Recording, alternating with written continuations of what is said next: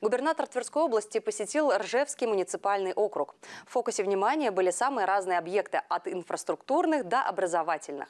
Кроме того, Игорь Руденя провел и традиционный прием граждан. Наш корреспондент Роман Быков сопровождал главу региона в его поездке. Первым пунктом в поездке губернатора стал мост на въезде в город воинской славы. Прежний находился в аварийном состоянии. После обращения ветеранского актива Ржева главой региона было принято решение о передаче объекта в областную собственность и о начале строительства нового. Мост через реку Большая Лочи. Это только на первый взгляд может показаться, что это небольшой инфраструктурный объект. На самом деле для ржевитян он имеет огромное значение. Именно здесь проходит главный, что называется, парадный въезд в город.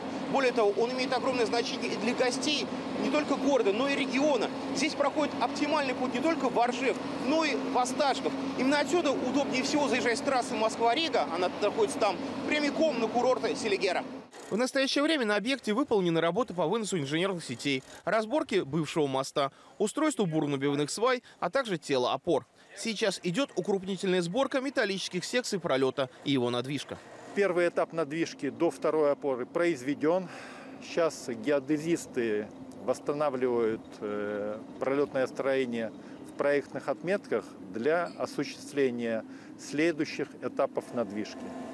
После надвижки занимаемся устройством железобетонной монолитной плиты. Июнь 2024 года запускаем движение. Главой региона были даны поручения по ускорению работ и благоустройству окружающей территории. Игорь Руденя подчеркнул, для удобства жителей и гостей Ржевского округа необходимо открыть движение по мосту к предстоящим майским праздникам. Должны быть установлены все дорожные знаки, которые будут обеспечивать безопасность. Далее Игорь Руденя посетил два предприятия – компания «К» и «Прама Электро». Продукция первой давно представлена в крупных сетевых супермаркетах. Это разнообразная детская посуда, термоемкости для горячих напитков и продуктов, пластиковые бутылочки для кормления, поильники для малышей. Также здесь производят силиконовые коврики для выпечки, рукава для запекания, клейкие ленты, стрейч-пленку, фольгу и многое другое. Очень важно, что сегодня мы по компетенции заместили оборудованием Э, поставка новой оборудованной продукции таких известных мировых компаний, как 3M, это американцы, которые делают э, очень высокотехнологичный скотч, э, пленку, э, и малярную, и армированную, и алюминиевую пленку.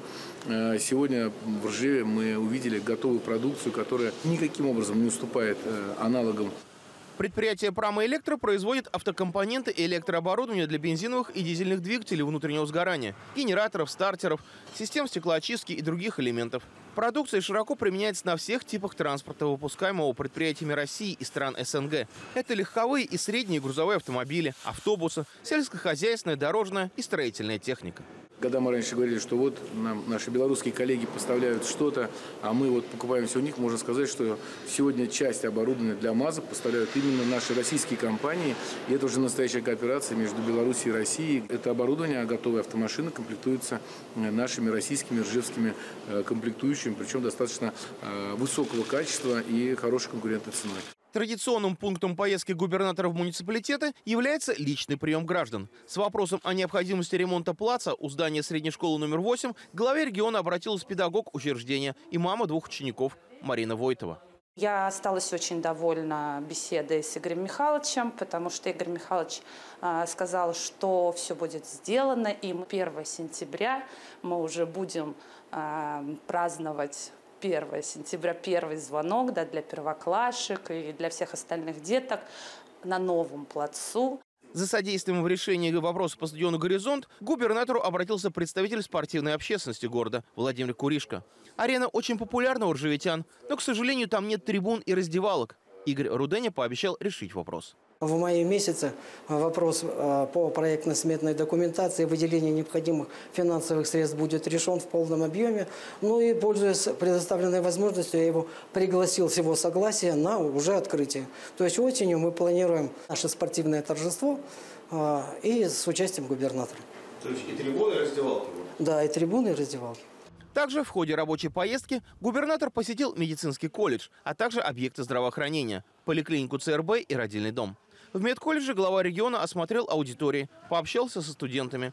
Также Игорь Руденя ознакомился с условиями проживания в общежитии, где в данный момент идут фасадные работы.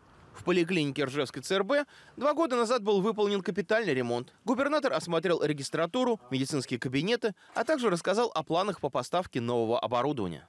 Нами сегодня было принято решение по поставке э, нового, нового оборудования. Это магнитно-резонансный томограф, э, так называемый прибор МРТ, который позволит э, всем жителям юго-запада нашего региона уже сократить время и чтобы он работал максимально, максимально больше удобные часы.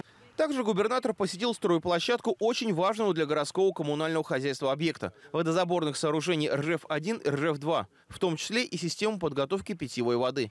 Строительство ведется по федеральному проекту «Чистая вода» президентского нацпроекта «Экология». Сейчас завершается сооружение станции водоподготовки и резервуаров чистой воды, наружного водопровода и насосной станции. Готовность объекта составляет 70%.